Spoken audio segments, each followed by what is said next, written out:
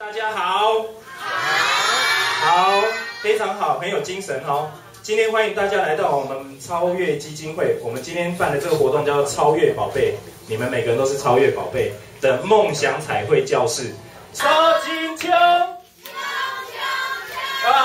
我们掌声欢迎我们超越基金会大家长周金秋。我们请他来跟大家说打个招呼，say 个 hello。Hello，大家好，大家好，我是苏金昌。锵锵锵！哎，真乖啊！大家今天现在最重要的问题是，赶快让陈前总统能够保外就医，让他健康能够好起来，符合保外就医的条件，相关机关就可以办，这个应该可以马上做。